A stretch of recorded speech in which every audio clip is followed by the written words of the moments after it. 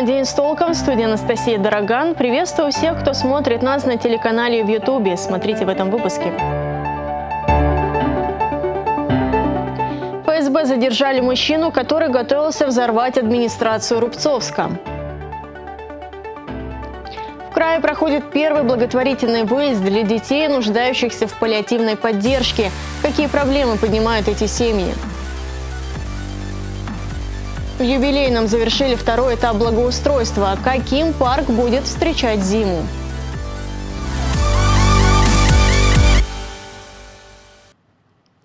Сотрудники ФСБ по Алтайскому краю при содействии с Челябинским управлением службы безопасности задержали потенциального террориста. Подозреваемый намеревался взорвать администрацию Рубцовска. Сейчас он находится под стражей, ему грозит до 20 лет тюремного заключения. Это кадры оперативной съемки. На них 35-летний мужчина прогуливается по Рубцовску. Сюда он прибыл из Челябинской области. Год назад, будучи за границей, подозреваемый вступил в запрещенную проукраинскую организацию, сообщили ФСБ, и по заданию куратора отправился в Алтайский край.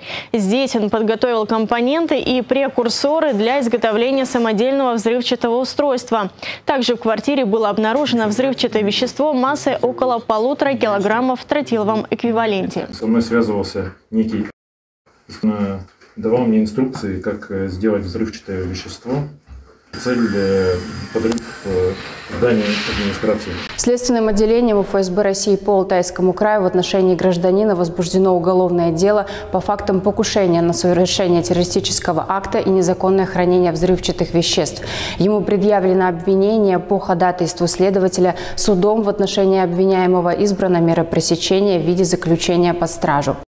В Алтайском крае проходит первый благотворительный выезд для родителей и детей, нуждающихся в паллиативной поддержке. В первом таком мероприятии участвуют всего три семьи, дети которых болеют ДЦП, синдромом Ли и Костелло. А всего в крае нуждаются в паллиативном лечении почти 300 мальчиков и девочек. Для чего организовали такой выезд и какие проблемы на нем поднимали, расскажет Юлия Щепина. Дерево угу. с я вот еще подрисовала листочки угу. и птички нарисовала и солнышко. Это Диана, ей 15 лет, диагноз ДЦП. Девушка помогает родителям по дому, любит рисовать и обожает животных. У нее кот и три собаки, одна из которых – Алабай. Вера была маленькая, она жила э, дома до зимы, чтобы вырасти. То есть она ложилась возле холодильника и ноги так растя... ну, растягивала и спала всю ночь, то есть или у меня на коленках. У Дианы есть сестра-двойняшка Эвелина с более тяжелой формой заболевания. Сейчас девочки и еще две семьи проходят реабилитацию в рамках благотворительного выезда, где с ними работают психологи, педагоги и волонтеры. Это первый подобный выезд в Алтайском крае, и возможным он стал благодаря помощи неравнодушных людей. Можно сказать, это пилотное мероприятие, цель которого показать, какая помощь нужна детям с неизлечимыми заболеваниями на регулярной основе. Наши дети сейчас почувствовали как облегчение, им хорошо, видно, что и улыбаются, и как-то и ручками что-то пытается, там цветочками играет уже. Случаев ДЦП в Алтайском крае немало, но есть и дети с редкими генетическими заболеваниями, которые сложно диагностировать. У Вероники синдром Ли, страдает нервная система и процессы метаболизма. У Вероники произошел метаболический криз, следствие реанимация и установка трахеостомы. И вот первый раз мы попали в паллиативное отделение как раз вот в прошлом году летом. Когда ты становишься паллиативным пациентом, а, двери вокруг начинают закрываться в плане того, что а, специалисты, они ну, уже так напрягаются, а, да, что ну, у, есть риски да, у ребенка, и, и не каждый а специалист обладает квалификацией. Вероника на учете в паллиативном отделении больницы Барнаула. Получает базовые медикаменты, расходные материалы и оборудование. Дополнительные витамины приходится заказывать. В обычной аптеке их не купишь, а российский аналог не так эффективен. Но самое главное, подчеркивает Александра, закрылись двери к оказанию социальной помощи. ЛФК, психолог, логопед.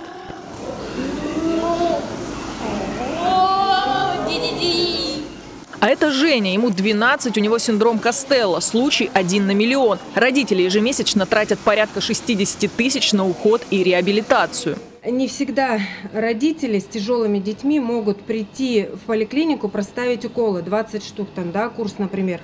Ну, я могу, допустим, поставить уколы. Капельницу я не могу поставить. Хочется, чтобы в городе у нас привлекли внимание всех, кого можно, что какой-то хоспис или как-то его назвать, да, вот центр такой паллиативный, чтобы там дети ну, даже и взрослые от 0 до 35 могли получать вот такую помощь, необычную какую-то, с привлечением специалистов. В то же время комфортное пребывание, потому что вот когда мы э, в реанимации, что, кстати, очень актуально, у нас в крае нет э, реанимационных палат, где мама может быть с ребенком находиться.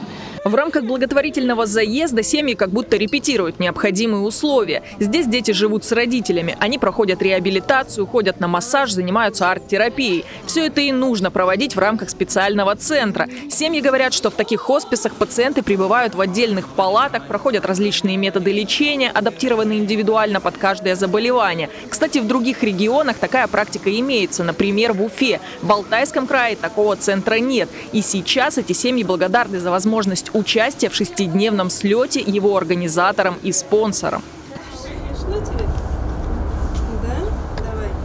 В Алтайском крае проживает около 300 детей с паллиативным статусом, и каждый родитель стремится сделать качество их жизни лучше. Поэтому они надеются, что в скором будущем в Алтайском крае появится такой хоспис, и даже готовы приложить усилия к его созданию, ведь все это ради детей. Юлия Щепина, Владислав Ковалев. День с толком. А в некоторых медицинских учреждениях края вновь вводят масочный режим, так как когда-то привычном режиме работы уже заявили в краевом онкодиспансере «Надежда». Сотрудники онкоцентра и его посетители теперь обязаны носить средства индивидуальной защиты, а пациентам пока запрещено гулять по территории диспансера. Такие меры предосторожности вполне объяснимы. Дело в том, что при ОРВИ и коронавирусе человеку нельзя проводить противоопухолевое лечение, и поэтому жизненно важные процедуры могут просто перенести до выздоровления от вирусов, но при этом будет потеряно драгоценное время. Роспотребнадзор края пока не принимал решение о том, что маски нужно носить везде и всем, но в ведомстве предупреждают, что в сезон вирусного обострения стоит поберечь себя, а значит нужно проветривать помещение, пить витамины, воздержаться от массовых мероприятий и при необходимости носить маски в общественных местах. Прислушались ли барнаульцы, непонятно. Во всяком случае, в аптеках разницы в продажах не заметили. Ну, покупают маски, ну, не сказала бы, что массово. То есть меньше, ну, как бы в штатном режиме? Нет.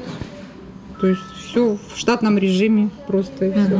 А вот э, что касается каких-то препаратов э, против ОРВИ, гриппа, ну, тоже все в штатном режиме. Ну, осень сейчас все равно повышенный спрос. Не так, как летом. Ну, ажиотажа нет никакого. Все спокойно. Сегодня во всех субъектах России, в том числе и в Алтайском крае, проверяли систему оповещения населения. Звучали сирены и громкоговорители, а эфир теле- и радиоканалов был замещен информацией по безопасности. Все это делалось для проверки работоспособности систем оповещений регионального и муниципального уровней. Мы решили узнать у барнаульцев, слышали ли они звук сирены и что возьмут с собой в случае настоящей тревоги. Слышал сегодня звук сирены по городу звучали? Да, да, да, слышал. Да, сейчас слышал, в шараге сидел. Твои первые действия, что будешь делать, как действовать? Позвонить родным, предупредить, что что-то надвигается. Родным, близким, друзьям. Ну. Куда бежать, куда идти? Да не буду никуда бежать. Куда бежать? В общем, в МЧС спрашивать, что случилось. У нас еще барнаульцы говорят, что надо собрать необходимый э, рюкзак с необходимыми вещами. Вот для тебя необходимые вещи это какие? Ну, во-первых, паспорт мой, ага. А, необходимые документы, возможно, провизия какая-то. Позвоню родным, потом, может, куда-то зайду в здание. Продукты какие-нибудь, э, документы, а, не знаю, ну, предмет первой необходимости, там, не знаю, спички, сжигалки там взял бы с собой. Вот не знаю, палатку, может, взял бы. Выходить, брать документы, выходить э, к клубу или где там пункт сбора. Угу. А как думаю, вот кроме документов, что еще нужно с собой взять? Ну, наверное, одежду какую-то, продукты. Мы в безопасности живем. А у жительницы Барнаула, подпол которой заливает кипятком с началом отопительного сезона, появилась еще одна проблема. Теперь ее могут топить еще и канализационные стоки. После нашего сюжета о беде женщины на прошлой неделе к дому выехали рабочие, чтобы раскопать землю и отремонтировать теплотрассу. Но в ходе работ ковш задел канализационную трубу, и перспектива у жительницы совсем не радужная. Дмитрий Дроздов продолжит тему.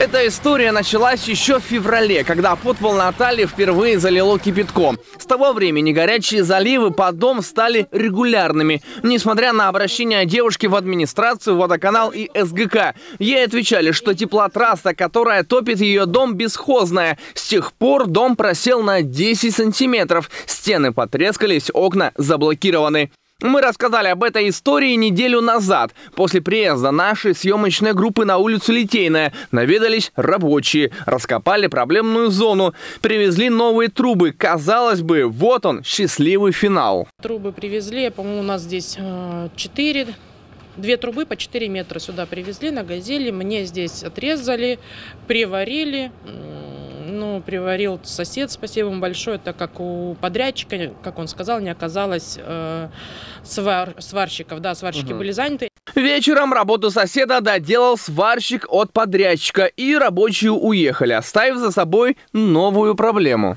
Уехал трактор, и обнаружилось, что он повредил нам а, а, эту, канализационную трубу. В двух местах повредил. Жильцам обещали исправить это недоразумение, но прошло уже три дня, а канализация течет в землю. И неизвестно, в чей двор или дом вытечет эта беда. А пока мы дождались ответа городских властей. Вот что нам сообщили в администрации железнодорожного района на наш вопрос, кто будет чинить бесхозную теплотрассу. Сеть включена в реестр муниципальной собственности. Администрации района в адрес Комитета по энергоресурсам и газификации города Барнаула направлена телефонограмма с просьбой оказать содействие в устранении данного повреждения. Силами подрядной организации проведена работа по устранению повреждения. У нас э, бесхозяйное имущество такого рода э, должно выявляться учитываться органами местного самоуправления. Возможно, хозяин будет найден. Да? Угу. То есть, если хозяин находится, ему это имущество передается, вопрос закрывается. В случае, если у бесхозного имущества э, хозяин не находится, орган местного самоуправления это имущество должен э, кому-то передать для э, ответственного содержания и хранения.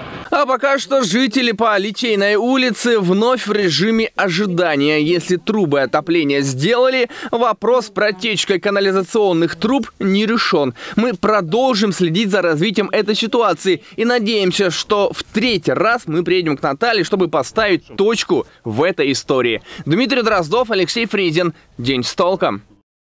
Школьные учебники не пересекаются с образовательной программой. С такой проблемой к председателю комитета КЗС по образованию и науке Александру Молотову обратилась одна из жительниц Барнаула во время интернет-конференции.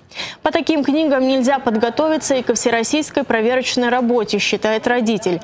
Однако депутат Краевого законодательного собрания уверяет, что это временная трудность, связанная с изменением в системе образования. А сама замена учебников в регионе будет проводиться поэтапно, вплоть до 2025 года. Первые пособия по истории для 11-классников уже поступили в школы в этом году. В них полностью переработаны параграфы, посвященные периоду с 1970 по 2010 годы, а также добавлена информация о специальной военной операции. На приобретение этих книг из краевого бюджета было выделено почти 9 миллионов рублей. Семья из Новоалтайска, которая лишилась дома в страшном пожаре, к Новому году мечтает отметить новоселье. Напомним, в июне огонь уничтожил жилье и все вещи Костелевых. Любовь Владимировна с двумя детьми осталась на улице. На помощь пришли близкие и люди, с которыми они даже не знакомы. Наш следующий сюжет о волонтерах. Была новая столешница заготовлена, газовая поварочная панель, была вытяжка, новенькая абсолютно. Вот то, что осталось. Сгоревшая мебель, фортепиано, семейные фотографии. В конце июня пожар уничтожил все. Можно представить, в каком отчаянии была Любовь Владимировна.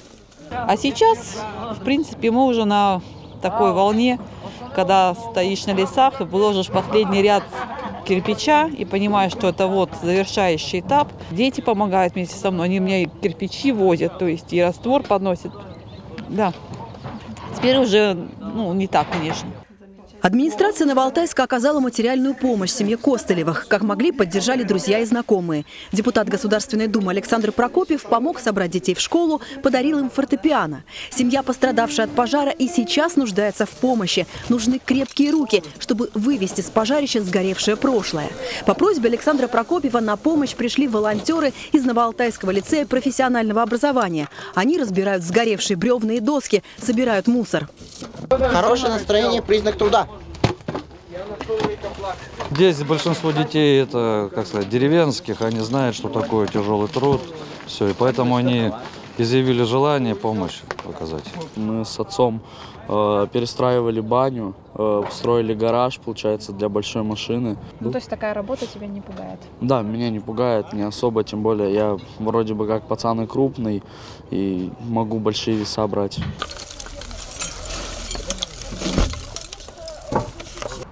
В лицее, где учатся парни, есть добровольческое движение «Чистые сердца». Студенты благоустраивают городскую территорию, закрашивают надписи на фасадах, участвуют в акции «Бессмертный полк». В ковидные времена ребята вместе со службой соцзащиты разносили по домам продукты и медикаменты. Наши волонтеры вносят свой вклад в общероссийские проекты, а сегодня помогли семье, которая пережила пожар. Эта помощь не материальна, но конкретна и своевременно. Надеюсь, это поможет быстрее построить новый дом семье из Новоалтайска. Парни загрузили полный зил сгоревших вещей, а после активной физической работы по традиции общий обед. Как правило, э, если сейчас мы помогли женщине, добро оно всегда возвращается.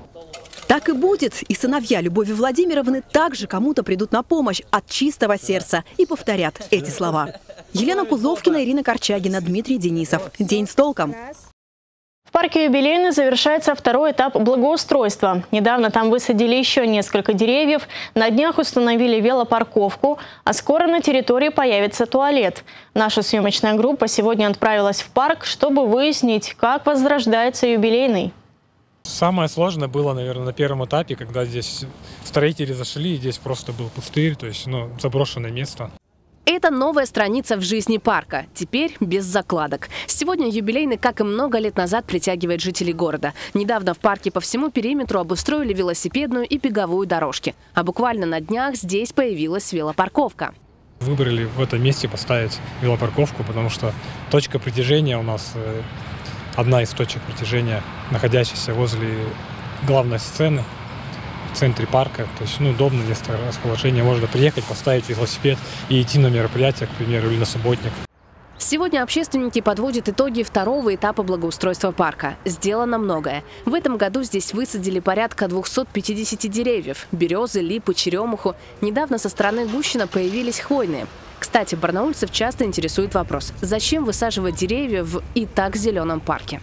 В социальных сетях очень часто об этом и говорят. Ну, то есть это парк и так с деревьями, зачем э, сюда еще садить? Ну, все просто. Дополнительные дорожки, когда прокладывались, ну, либо даже старые обновлялись, очень много деревьев было, ну, где-то задействовано. Где-то, конечно, можно было в обход сделать, а где-то пришлось чисто технически что-то убрать. И, соответственно, это, так скажем, компенсационный фонд. Совсем скоро решится одна из главных проблем парка. В нем наконец-то появится туалет. Пока единственный на весь парк. Каждый раз в кустике бегать. у нас уже цивилизация. Вот, поэтому в этом году должен вот появиться модульный туалет. Уже сделали площадку, коммуникации подвели. И вот должны уже скоро поставить сам модуль. Напомним, что впереди юбилейный ждет еще два этапа благоустройства. Зафиналить работы должны к 2025 году. В следующем году здесь построят спортивные площадки, велоэкстрим-парк, обустроят место для выгула собак. Это лишь часть работ. Что печально, парк пока живет без управляющего. Если его и не будет так дальше, то все, что здесь делается, это будет на смарку, потому что любая среда, за которой не ухаживают, она со временем деградирует, э, начинает э, разрушаться. Ну, нужен хозяин. Да, нужен хозяин. Ну, а в перспективе есть вот уже как-то мысли, когда будет назначен управляющий? Ну, хотя бы вот примерно. Вот, я думаю, в ближайшее время, потому что потрачены а, огромные деньги. Плюс это федеральное финансирование. Надеюсь, что в ближайшее время он найдется. Кстати, 6 и 7 октября в 13.00 в юбилейном пройдет субботник. За лето на территории накопилось много мусора. По словам организаторов, субботники объединяют до 500 человек. Присоединиться может каждый. Ирина Корчагина, Андрей Печоркин. День с толком. А на этом у меня все. Телефон нашей редакции 205 545. Через несколько секунд о погоде. Спонсор прогноза компания «Эвалар». До встречи.